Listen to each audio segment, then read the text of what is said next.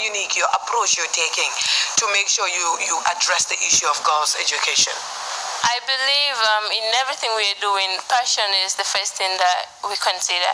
And then I having so much passion for education and um, going through a lot when it comes to education really motivated me and then that made, made me stand out. And also, I was the people's choice of that day, Miss okay. Environment Gambia. So I brought home two crowns and then three titles. Nice. Yeah. So to sum it up, uh, before we go, go again, I'm sure it's very interesting.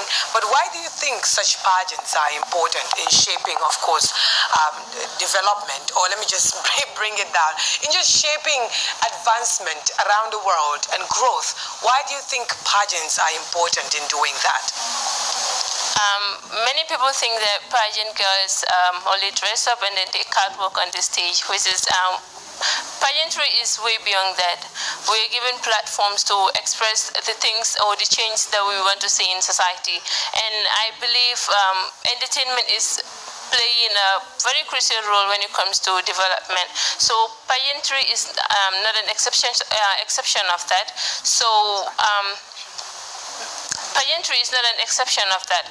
So I believe that it is important mm. in as much as the government is important mm. when it comes to yeah, the war. Right. But, but, but, before we round it up, like um, like earlier on, we have um, queens that attend different pageants with excellent platforms. That is um, things like that. But when they come back, these platforms that they created here before they go for these pageantries, mostly we see that the projects are not in line with whatever they say they are doing. And most of these projects are not done accordingly. So you, as a, as a, as a beauty pageant queen, and you representing the Gambia in such a platform, when you come back, how do you intend on making sure that your project stand out and your project go in line with your mm-hmm. platform? Sustainability as well, yeah. Yeah, I will make sure that I involve stakeholders into this matter. Though I've started on my own and then I have my director that is helping me out.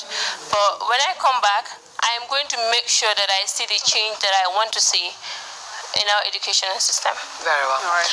Wow. So, Ms. Fadusilla, thank you so much for coming. It was great having you, and all the best. All the best. And we pray you bring the crown yes. home, and I know you thank will, you. hopefully.